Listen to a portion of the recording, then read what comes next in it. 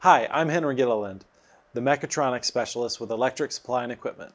In this video, I'm going to illustrate how quickly you can get things up and running with integrated motion over Ethernet IP in Rockwell's Studio 5000 Logix Designer.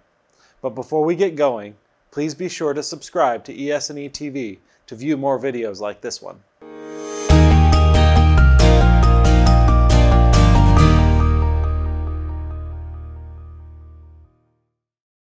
First create a new project using Studio 5000 Logix Designer. Select your processor.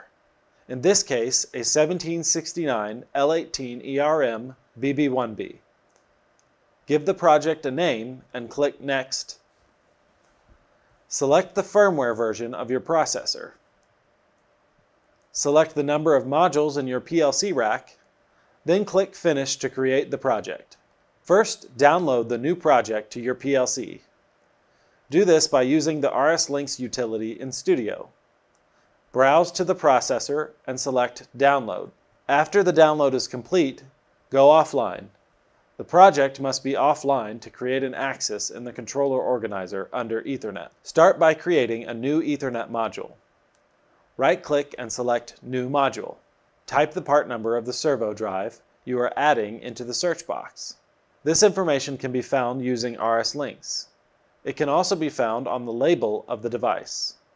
In this case, a 2198H003 ERS2. Select the drive and then create and give the drive a name.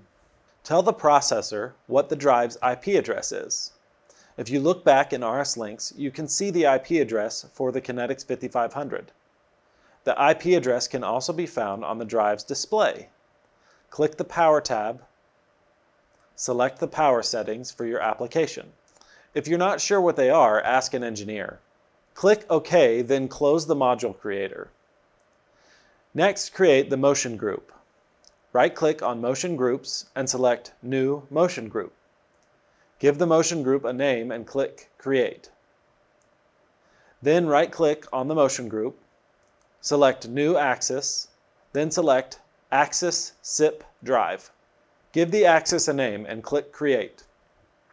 Double-click on the axis or right-click and select Properties. In the General tab, select your drive under Associated Module.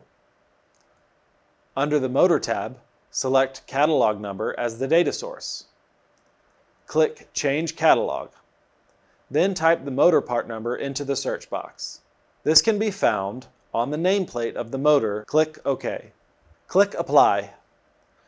Notice all the stars that appear when a change is made will disappear after clicking Apply. Click OK and download the updated project to the PLC. When prompted, select Enable Time Synchronization. Motion will not work if this is not selected. Then click Download. Select Yes when asked to put the controller back into run mode. The system is now ready for motion. Please note the quick view window under the controller organizer. By default, this is not visible. In order to view motion, pull up the axis properties. Then click the Status tab. Right-click on the axis and select Motion Direct Commands. To enable the axis, select MSO and click Execute. The axis is now controlling position. Then select the MAM instruction. We will do an incremental move. Let's do a position and speed of 1. This will advance the motor 1 revolution at 1 revolution per second.